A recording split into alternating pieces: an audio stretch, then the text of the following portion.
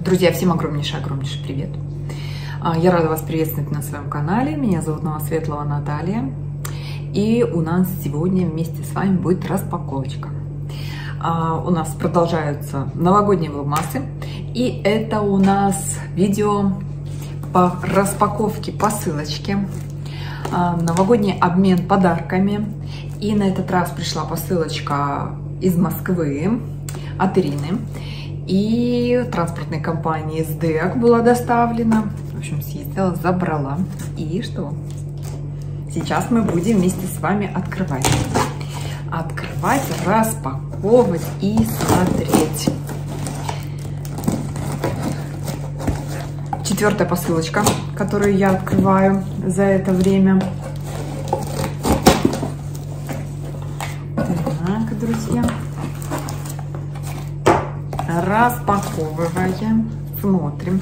Думаю, что вы уже на канале посмотрели уже предыдущие видео, проводили отлично время, наслаждались, получали тоже позитив и настроение. Так, ну что, заглядываем, друзья, заглядываем. Вы в нетерпении, я в нетерпении. Так, так, все хорошо запаковано, все такое увесисто тяжеленькое. Сейчас будем распаковывать. Так, я уже тут пока распаковываю, все уже потеряла. Никакой определенной тематики не было, что, чем, что кому дарить. А, все по настроению, по желанию, от души. Так, я уже практически а, справилась. Так, первое, что будем с вами смотреть так, это у нас а, традиции, проверенные временем. Крем-мед, крем-брюле. Вот такой вот со вкусом получается мороженого крем-брюле. Мед. Знаете, кто такой делает? А Воронежская область. Воронежская область такие вкусняшки делает. Так, дальше. Ну, вот такая еще вкусняшка. Мерси. Молочный шоколад с кофе с белым шоколадом. В общем-то, приятное новогоднее чаепитие. Спасибо огромное, Рин. И что-то тут еще такое очень-очень девочковое и интересное. Смотрите, какое. Знаете, что это такое? А, рождественские рассказы о любви. М-м-м, как интересно. Произведение русских писателей. Э, серия «Рождественский подарок». Интересно, спасибо огромное. А, значит, в этой книге собраны невероятно трогательные рождественские рассказы о любви, которые никого не оставят равнодушными. Ведь именно любовь помогает людям раскрыться во всей творческой полноте и красоте.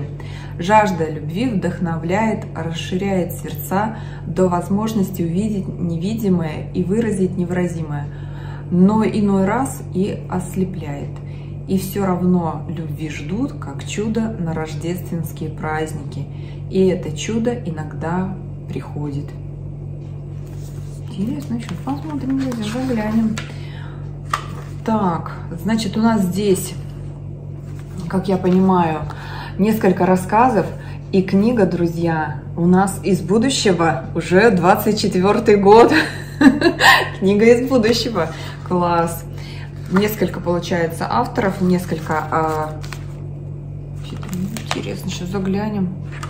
Сейчас мы заглянем. Спасибо огромное. Это как раз-таки для поднятия а, новогоднего настроения и проведения всех новогодних вот как раз-таки дней с интересным чтивом. Классно. И формат такой, да? Удобненький. Удобненький формат. Можно даже взять с собой, если куда-то поехать на рождественские. А так бы хотелось поехать куда-нибудь на рождественские праздники. Где-то такой едешь, э, не знаю, в поезде, в ласточке такой сидишь, кофеек, снежок за окном и хорошая книжечка. Спасибо огромное. Как раз-таки все так это для приятного чаепития и чтения. Спасибо огромное, очень приятно. Все, все очень понравилось. Вот ваши посылочки, девчонки, уже тоже летят.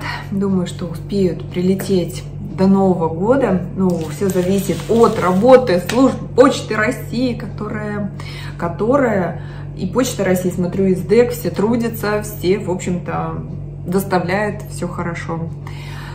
Ну, Ирина, вам спасибо, что приняли участие в этом таком вызове а, и создали рождественское настроение. Спасибо огромное.